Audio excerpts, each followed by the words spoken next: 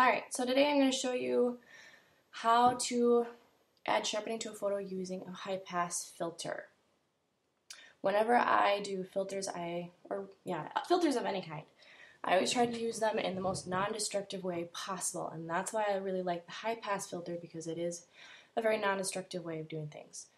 Um, Photoshop, of course, there, there are a million ways to do everything, so this is really just one of many, many options. Okay, so I'm going to quick open up a photo. this is actually my one of my nephews. Took pictures of him last fall for his graduation photos. And of course, he waited till the very last second, so we kind of had to improvise and figure out something to do around his house.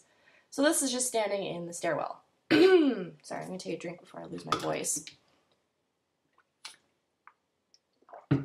Alright, so to do a high pass filter, we need to make a new layer and we are going to merge into that layer and I'm going to label it because I always label my layers high pass. Okay, and then we're going to go up, oh wait, missed an important step. I'm going to right click and click on convert smart object. And here's a little icon that tells you it's the smart object. And I will explain why I did that in a minute.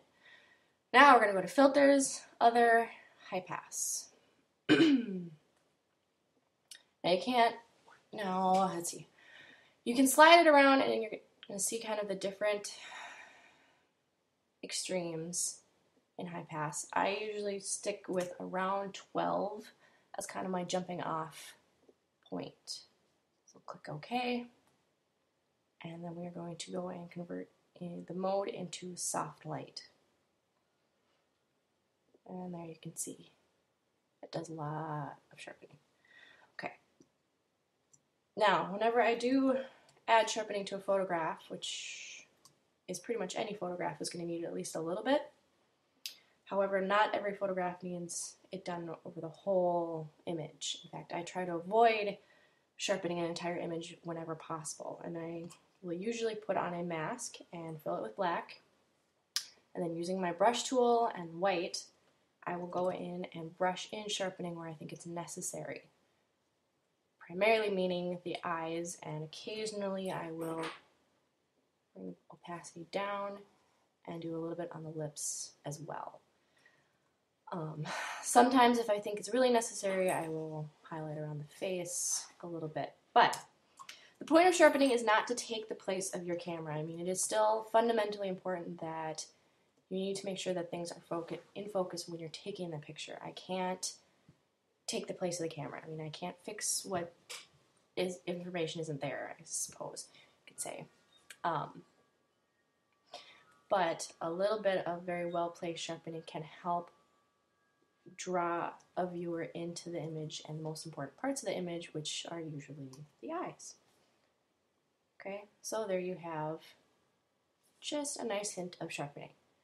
Now, here is why I turned it into a smart layer, or smart object, sorry. Whenever you do sharpening, um, say that I looked at this and went, yeah, it is too much. Well, instead of having to scrap the whole layer and start over, because it's a smart object, all I have to do is click on this little doodly bob, and there it is. So whenever I do any sort of anything from the filter menu, I always convert it into a smart object first and then add the filter. This way I can always go back and change it however I deem necessary.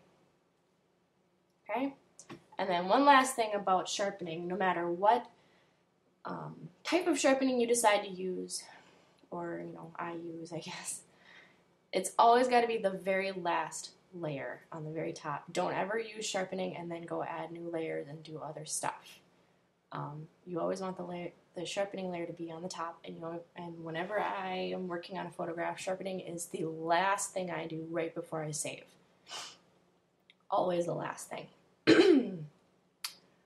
so, I guess that is my two cents on sharpening using high pass filter.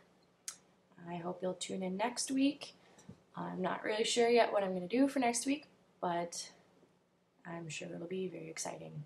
So, have a good day.